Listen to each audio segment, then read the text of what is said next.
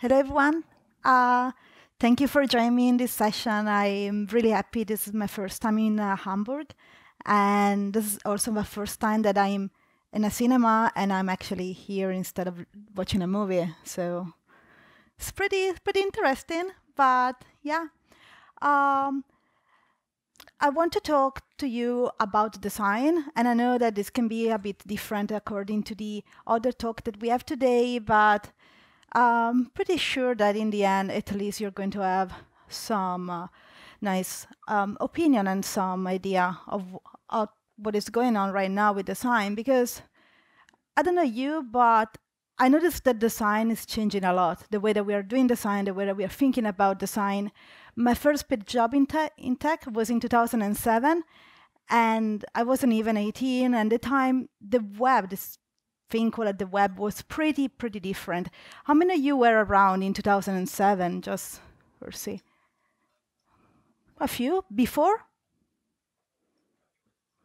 Basically, more or less the same people, and uh, and so you kind of, I think you kind of remember that at the time when we started thinking about um, digital and we think about the web, we have this this idea of mind of something that should be um, should be as similar as possible, as as close as possible of the real environment. Ten years ago, everything in the web looked like a newspaper, a magazine. We really trying to reproduce, and actually, as we know, HTML and uh, and then CSS was was designed, was was made with this idea of mind to reproduce document, and that's what we try to do. And I made something, and you know we're like looking for really uh, textury heavy stuff, and I'm not a proud of it right now, but I remember that at the time, you know, that that was looking cool. It was 2007, and as I say, right now the has changed, and it's changed. It is still really changing a lot. And this talk for this Kramer is basically the results of a lot of conversation that I have this, this guy over here was pretty huge on the screen, kind of intimidating. And um, he's a consultant at ThoughtWorks right now, but back in the days, back in 2007, we both used to work um, in Rome, having a small agency, working for clients, figuring out how can we uh, make the most accessible website, the most fast website using WordPress. Um, is now, as I said, a consultant here in Germany, and as you already know uh, from my bio, I'm working on a product. But we were discussing, and we noticed that even if our industry is, is changing a lot, we kind of still have this um, industrial mindset, together with the, with the look and feel coming from a different era, we were also stalling the same mindset, the same way to work, and apply to it. So we used to frame, ideate, and then having the specification ready before the production and distribution was able to start. And this actually coming from um, an era uh, a long time ago where things were pretty different. So you have to be sure that here you have everything ready because having a product recall is going to be bloody expensive. Uh, okay, I think that this was a good introduction, so it's time for properly introduce myself. Um, hi, everyone. My name is Emanuela, and I'm working as a designer for um, Mozilla Firefox. And as you can maybe notice from my accent, I'm not German. and I'm actually from Italy, but I'm living in Berlin since three years now, and I kind of, I kind of like here. Um, just few word on Firefox. Firefox is in Germany is actually the first browser. Even if since I'm here, I, I saw a lot of people kind of um, digging a bit on Firefox. It's pretty cool. And we just launched uh, on Monday our new uh, beta release with this new thing that we call it Firefox Quantum. Quantum is just basically a code name, but what did happen is that we rewrote part of the um, of the backend, and we redid we we work a lot on the UI, so Firefox is actually faster, feels better, and if you're curious, just really uh, download beta or I guess that most of people here are developers, so just try the developer edition. It's pretty good. Like the dev tools have a, neat uh, grid inspector. And what I'm doing in Firefox, in Firefox, I'm working for the design system team together with other few people. And um, our design system is called Photon. And we are going to see a bit more about it later. The markets are hard to predict it's really unpredictable. And this is actually a constant when we're thinking about uh, digital markets, right? Um, we know that people behaviors and expectations change continuously, and making something that is stable is incredibly hard, right? And most importantly, today, everything is software. Six of 10 uh, company of six of the top 10 companies in the world are actually tech company. Apple, Alphabet, Microsoft, Amazon, Facebook, and uh, Alibaba, if you were curious. And that means that we are surrounded about software, but we still uh, applying that like really rigorous mindset that we saw before coming from the industrial era, even if software is easy to, say, to change.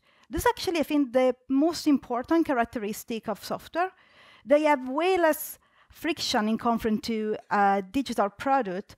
And as I was saying before, if you're thinking about recall a product, like if your IKEA bed is broken, by default, by design, they have to recall the product, and that goes to cost a lot of money in terms of PR, in terms of um, giving you the money back, giving you a new bed. But if we're thinking about recall something in software, well, that's actually pretty easy. We can ship a bug fix, or um, going back to the previous backup, and we're kind of okay. And I know that's kind of hard to say because I mean, we're all like developer, we are all working with code, and we say like, it's not easy, it's not easy at all. But we have to admit that in conference to a physical world, it's not that hard. And that's actually what I'm really like interested about software is the reason why I started to work in this industry, is because we need to improve and we, need, we always need to train our capacity to adjust and change our plan. As creators of digital products, our attention should be directed toward flexibility and resilience. And we need production, we need product that can be rapidly adapted to the emerging needs of the market. Because most importantly, what is really changing right now is that the user needs are so complex and are so evolving because the market around us is is crazy. Like we, we ever see just before, like APIs coming all the way, and it's really hard to predict what the user wants and what they have in mind. That's why I want to suggest to you today to rethink the way we create digital products and services, to rethink in general the way that we are designing. And I don't know how many of you are familiar with this sentence, or like, especially probably uh, the guys who were like around since a while. I heard a lot of time people say, oh, doing software, building software, is just like building an house. Well, it's not. Because if you mess up your, your house, you have to call your architect, they have to destroy everything and reproduce everything from scratch. While, as, as we said before, like, it's not, it's not like that for software. And again, we, we have this idea of the factory. I also, I love this expression like feature factory, because right now everybody's agile, everybody's working in a really small way that sometimes it's kind of resemble this, right? We have our marketing uh, department or sales or whatever, just grab it with me. There's a magnificent new idea. And they go to the stakeholders, like, we have this new idea, it's amazing, it's going to uh, earn us a lot of uh, new clients, so we're going to match our work, all the KPI. It's just a bit expensive. So the stakeholders, they're like, hmm, maybe we can change a couple of things here. They review the budget, and then they're ready. They call that product manager. The product manager review the plan, he write the user stories all by their own, like, okay, I have my user stories ready. Now I can call the design team, designer, design.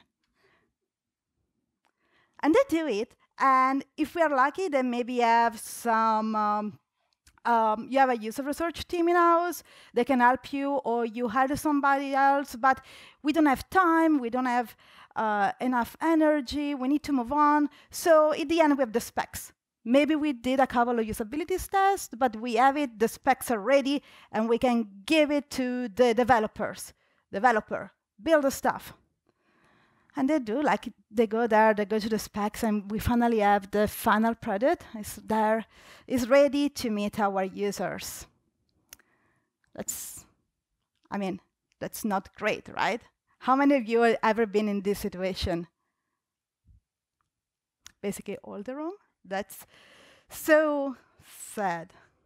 Because you know what happened, right? It happened that when you have this kind of um, process, at some point, probably when the designer just pull over the, the specs to the developer and they're going to be this like, mm, I think we are missing some, uh, some edge case here. Or this is really good and I'm glad that uh, everything went well during the user research, but it's really uh, killing our performance. We need to do some adjustment.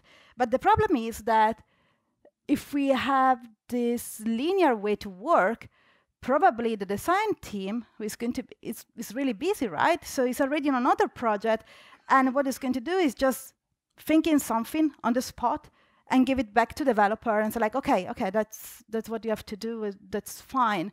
And this is creating a lot of conflict because um, there is this idea of designer most of the time that they want to have it super control on the final product, and then they look at the spec, they look at the final product, look at the spec, and they're like, two pixels are off. okay?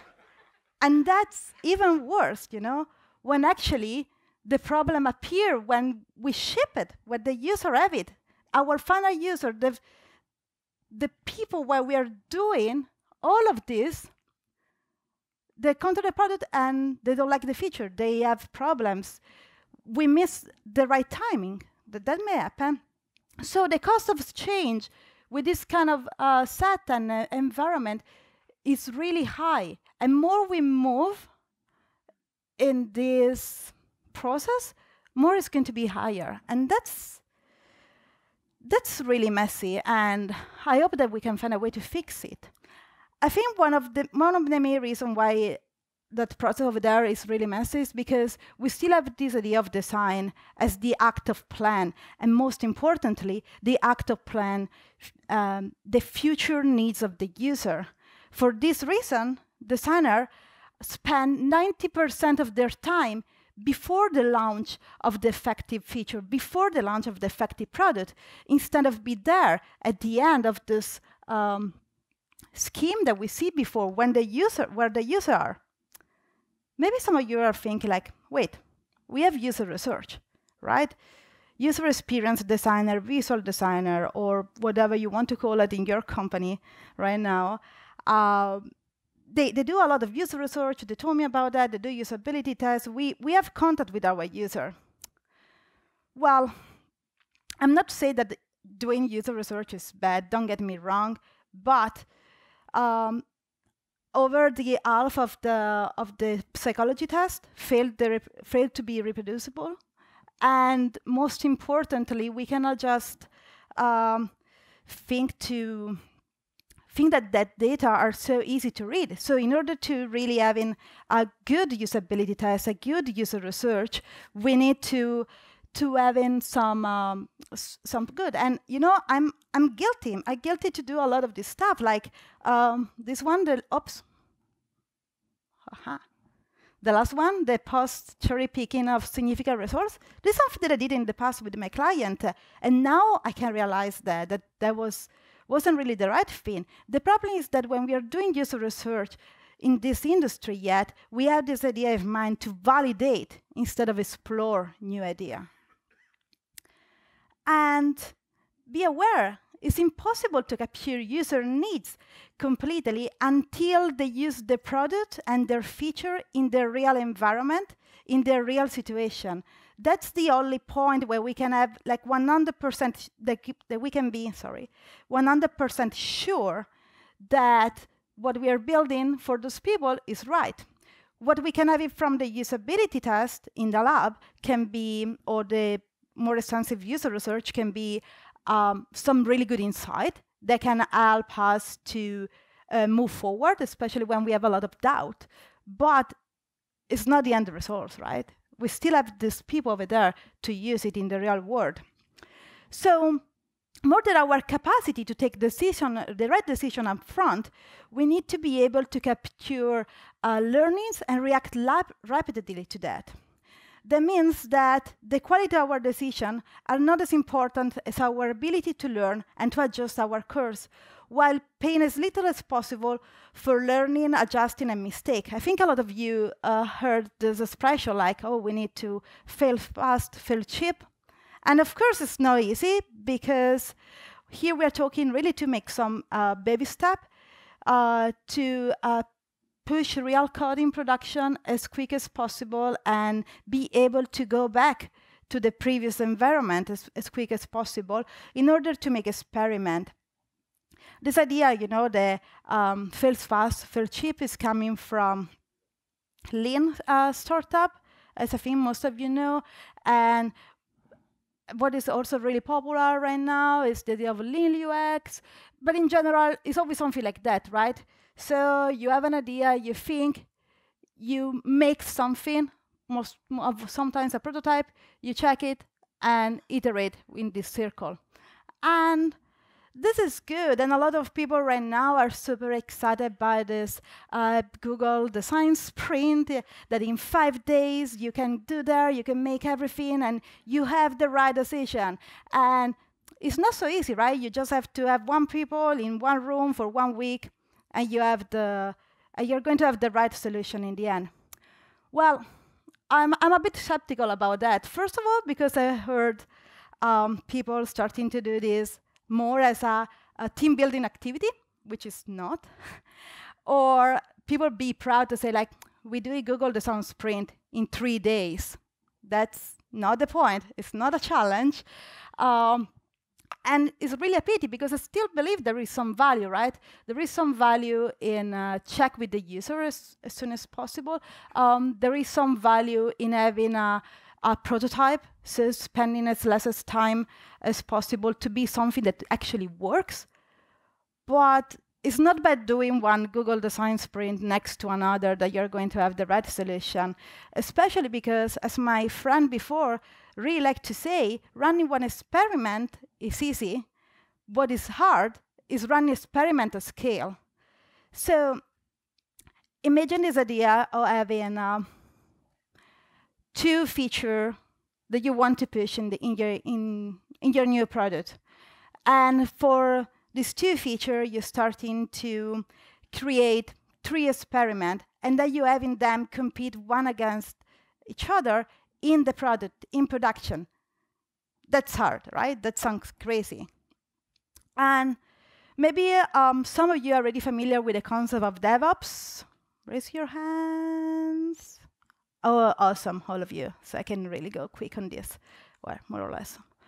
Um, so uh, what really is cool about this idea of DevOps is that, first of all, it's not just developer operation, but it's all the things that make possible for us to really be agile and to really live in a in a time where people um, can push code and see your reaction uh, and see the results of your code in front of you as soon as possible, and that's amazing.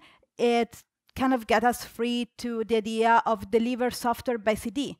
I remember that um, Photoshop used to be like, you know, you have the CD, you have the box, and that was really different. It actually changed completely the way that we did that we distribute digital product. And as we said before, software is all around us. So it was really this was really the big change. And what I found super interesting about the idea of DevOps is that introduced this concept of the delivery team, which is a team who is able to know so well the product and that specific feature because it's on it since the beginning. So since the first iteration, iteration zero, until the end, until the retirement of that feature, if it's going to be.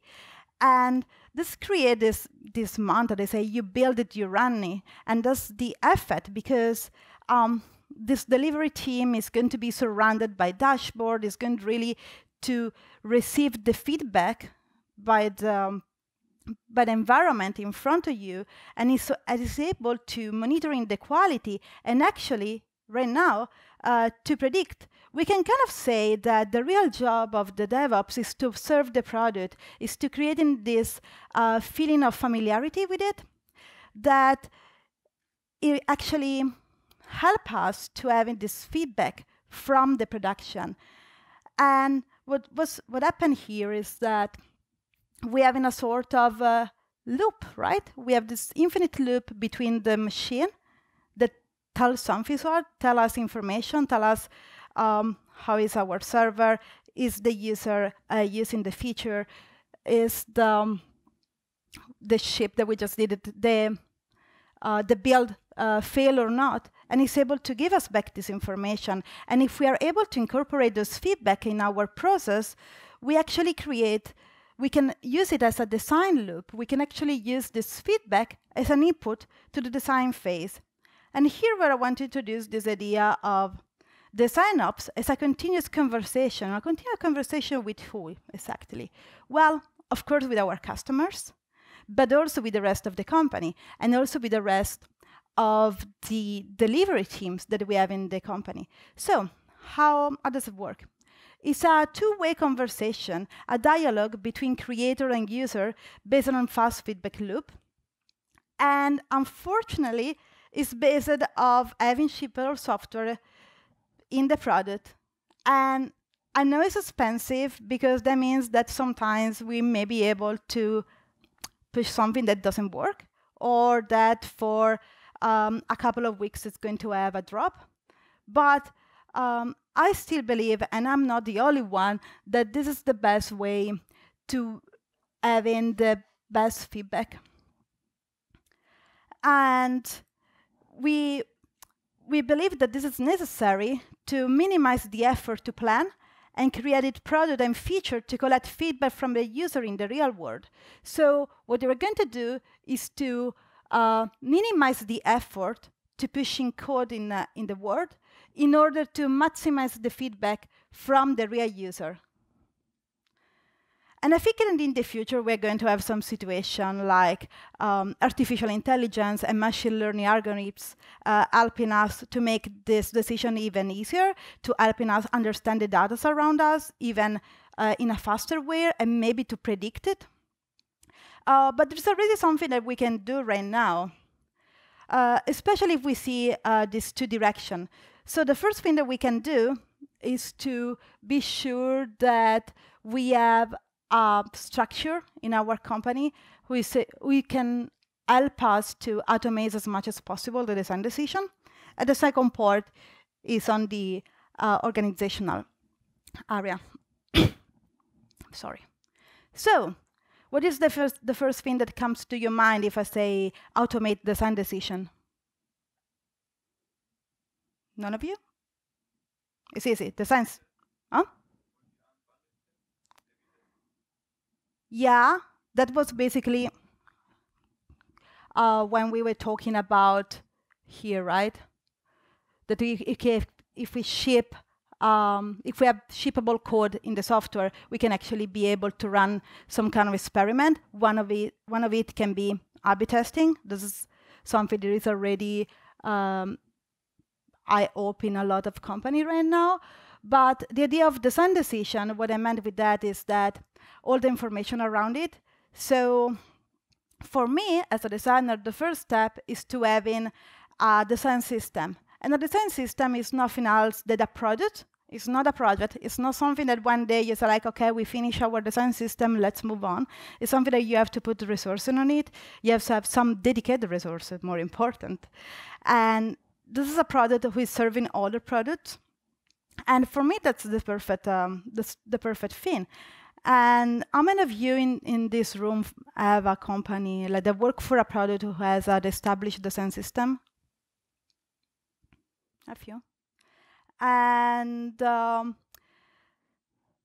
it's something similar to having a pattern library or a style guide. However, for me, it's a bit um, different because it's more it's more a matter to having a language, a common language that you can speak in your organization, and it really helps us to make the right choice, the easiest choice, and it avoid the run of the designer against the developer. Say like, oh, two pixel off that's, that's not something that is if you have all the design decision, all the design information in just one place. And for me, the design system, more than consistency, which, I mean, I think we can discuss later if they really help the user. I never heard in 10 years a user say, I love that everything looks the same in the product. They, they don't care about that. More that, they care about having a cohesive experience. They care about um, having some um, uh, their expectation uh, met. And you can do that if you have a product to speak the same language everywhere. What I mean with language, as I said before, I mean um, behavior. So what happen uh, uh, when you you have a form and you send a form? You can have multiple form in your in your product. Those form should be able to have in a consistent way to communicate to the user. They should behave the same.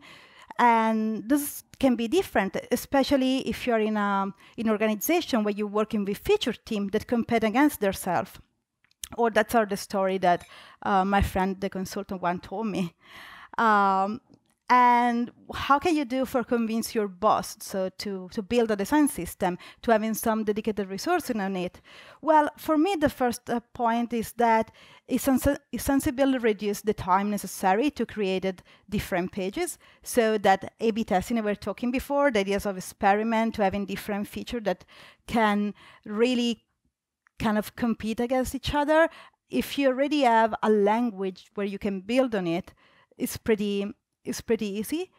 Um, most importantly, for a more um, process perspective, it enables other people to design. Uh, many designers are working more and more with the idea of supporting others, right?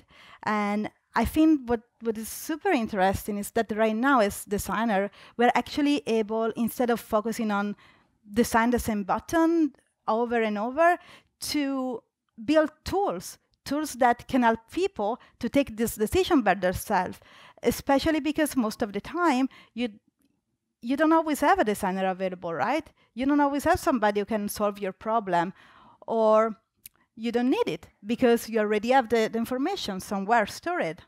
And when we're talking about tools, we're talking about the idea of getting all the icons that you need and be able to choose for uh, which platform you need.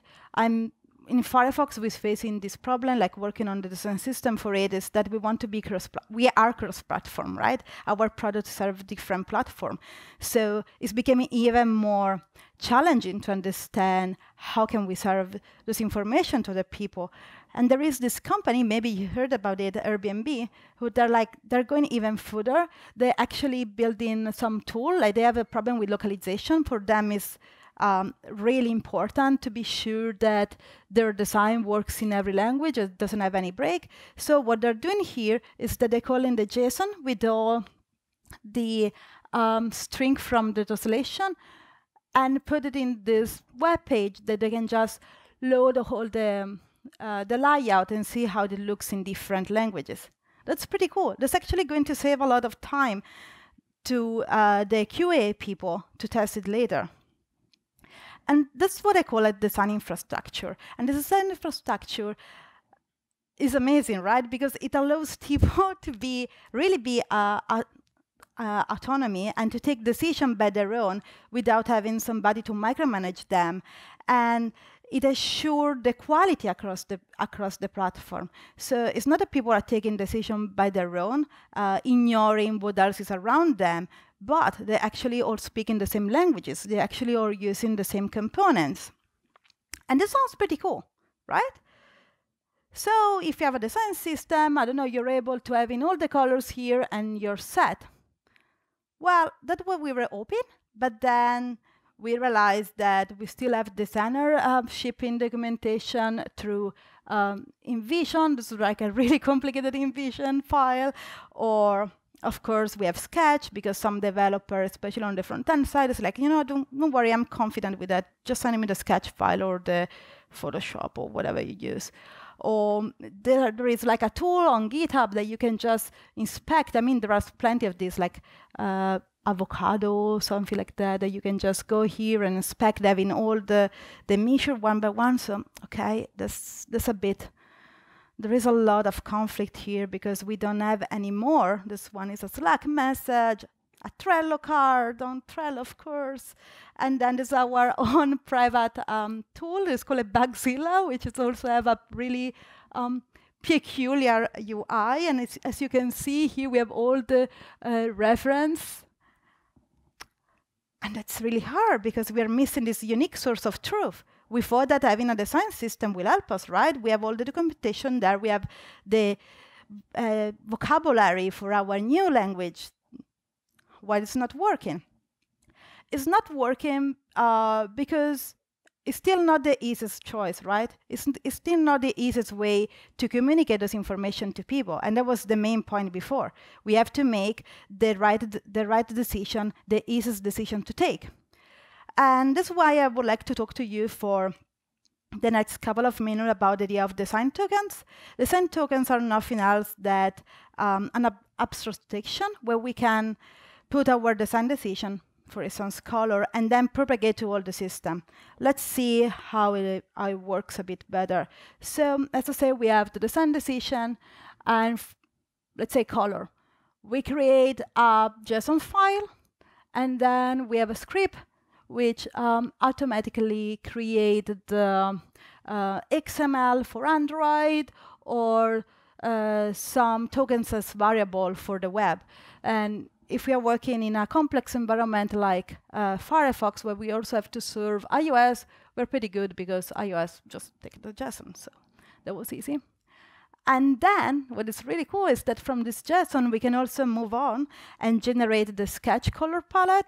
So if we need to have somebody still building um, mockups or wireframe using the real color, we just have this point where we have all the design decision collected and then have it in Sketch, in Keynote, or uh, in the design system website. Because if you're going to use the, uh, the CSS variable, we can transform it in an npm module that then other teams, including myself, can use and implement it. There's also meaning that if we realize that the one shade of blue is not really accessible from the user perspective, we can just change it here and then it's propagated to all the products. And then I think that's pretty cool because we can kind of ignore what we said before about all the different file documentation because this is the point where everything is real. And why it's real? Because this is actually what we're going to put in, the, in production. And of course, it's also future friendly because who knows when the next uh, hot things is going to be out and what kind of language is going to take. If we have in this decision small enough and abstract, it's going to be pretty easy to figure out a way um, to propagate this information to, to it as well. And that's how we look. So we have the JSON, and we use the variable in the product, and that's how it looks in a whatever Apple product you want, in this case, Keynote. And I suggest to you, if you're interested, to start with color and type, because it's the um, really the most easy information, but then just not stop with that you can then start to combine different tokens and having more uh, complex um, element like components.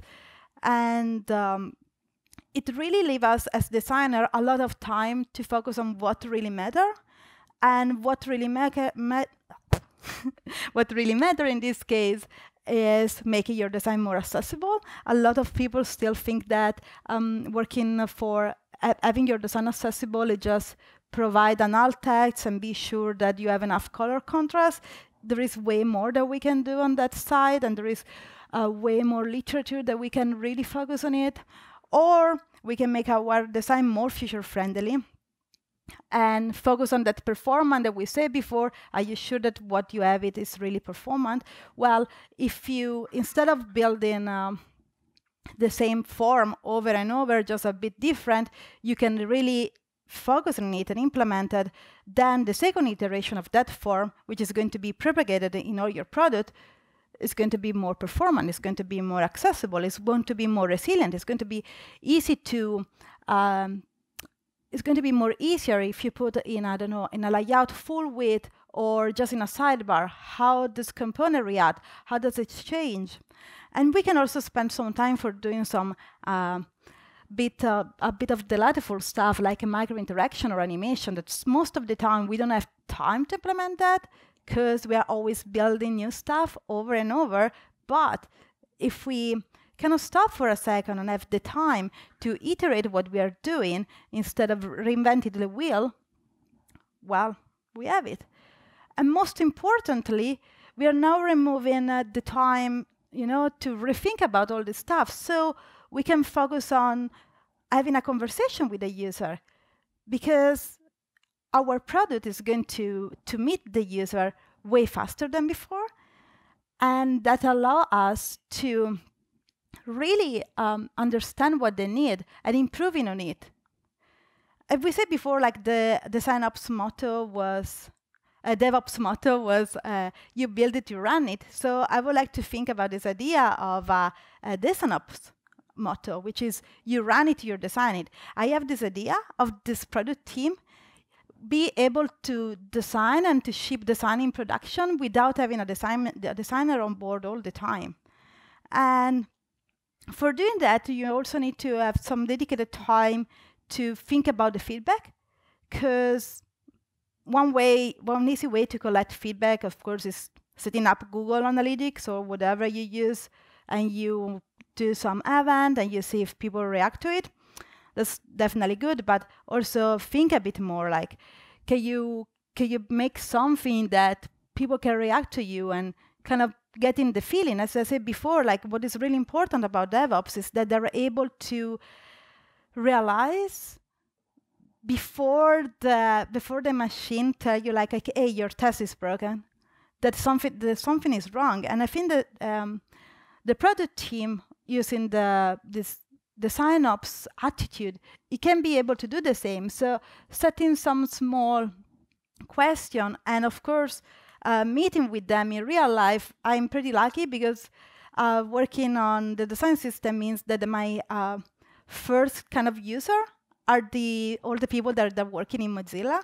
So I can have the occasion to meet with them and talk with them. and um, that's pretty cool. And you can actually have a lot of uh, nice, full insight.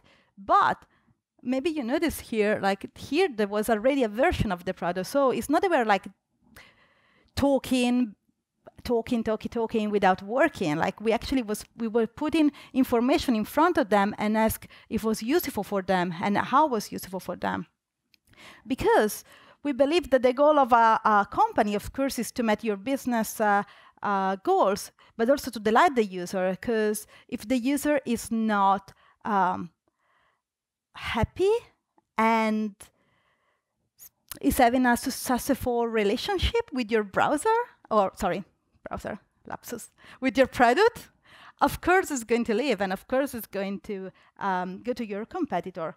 So right now we have everything automated. So uh, what we have left, and I'm a bit out of time.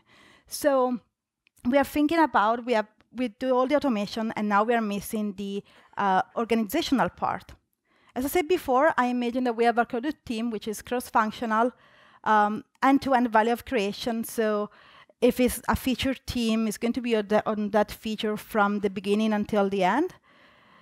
And that means that they're going to become um, domain expert, and it may or may not include a designer.